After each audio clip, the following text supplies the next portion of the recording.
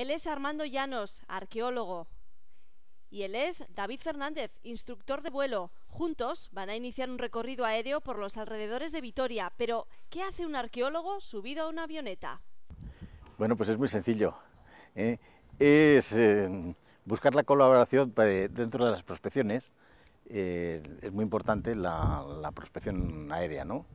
Para hacer, intentar detectar yacimientos, lugares arqueológicos.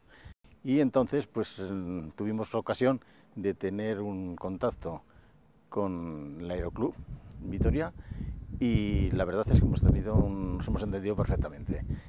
Gracias a esa colaboración, los arqueólogos podrán aprovechar los vuelos que realizan los miembros del Aeroclub, casi 800 horas al año, para tener una perspectiva aérea de las zonas con restos arqueológicos de la provincia. Desde el aire vamos a ver cosas que no veríamos desde tierra. Incluso nosotros mm, conocemos yacimientos arqueológicos porque se encuentran materiales en los sitios, pero luego desde, desde tierra, a pie de, suelo, no se ve nada más, no se ven ni estructuras ni nada. Para los pilotos también resulta una experiencia enriquecedora. Muchas veces, ¿verdad? Pues ah, igual hemos visto cosas que, que, claro, al no saber interpretarlas, pues te pasan completamente desapercibidas. Y ahora ya Armando, pues eh, él bueno, y su gente nos, nos, van a explicar un poquito de qué tenemos que estar pendientes, qué cosas tienen que llamarnos la atención. Y bueno, nos parece algo además muy interesante, ¿no? Porque es un incentivo más a, pues para esto de volar que tanto nos gusta, pues un atractivo más, ¿no? El poder estar pendiente y bueno, si podemos echar un cable, pues mejor, ¿verdad? Canal Gasteiz también se ha apuntado a la excursión. Vamos a por ello.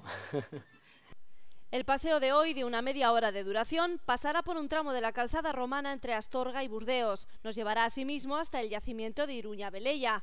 Después sobrevolamos el castro de Olarizu de camino a Alegría y es que en esta localidad alavesa se encuentra otro importante asentamiento de la Edad de Hierro. El castro de Enayo ha sido estudiado por los arqueólogos del Instituto Alavés. Se ha recuperado incluso las casas de la época y se pretende abrir al público. Será el punto de partida de un itinerario que seguirá por el camino de peregrinos pasando por la ermita de Ayala hasta llegar a la colina de San Pelayo y su antigua necrópolis. Aunque a nosotros nos parezca lo contrario, la tierra vista desde el aire nos da sobre las edificaciones que se encuentran enterradas, aunque no se trata de una visión inmediata.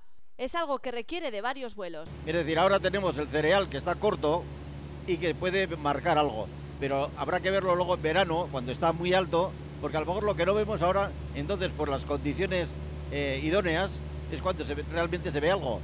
Volvemos a Foronda fijándonos en cómo la ciudad se transforma, nuevos barrios, nuevas carreteras, aunque hoy lo que nos interese sea precisamente lo que existió en épocas pasadas.